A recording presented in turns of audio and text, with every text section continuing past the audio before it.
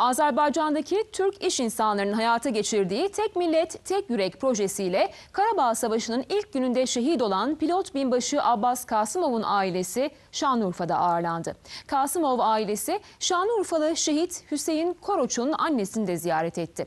Buluşmada duygu dolu anlar yaşandı. Azerbaycanlı Kifayet Kasımova ve Şanlıurfalı Fatma Koroç. İkisi de şehit annesi.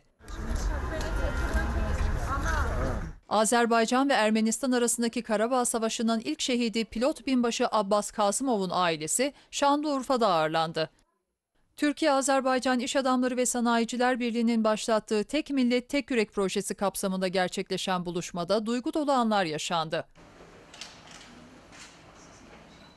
Türk dövləti, Azərbaycan dövləti şəhidləri unutmayacaq. Biz yaddan çıxmayacağıq. Sağ olsun Türk milləti. Vətənimiz sağ olsun. Kolay gelsin. Bunun da şehidi var, bizim de şehidimiz var. Allah razı olsun ziyarete geldiler. Rahmeten cennetine, mekanı cennet olsun inşallah. Şanlıurfa'da ağırlanan Azerbaycanlı şehit pilot binbaşı Abbas Kasımov'un ailesi, valilik, emniyet müdürlüğü ve jandarma komutanlığında da misafir edildi. Ee, Kalbimiz bir, duygumuz bir, yüreğimiz bir. Azerbaycan-Türkiye kardeşliği hep daimdir, daim olmaya da devam edecek. Azerbaycanlı şehidin ailesine Haliliye Belediyesi tarafından Şanlıurfa'nın tarihi mekanları da gezdirildi.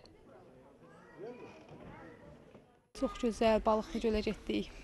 Orada uşaqlar balıqlara bayıldı.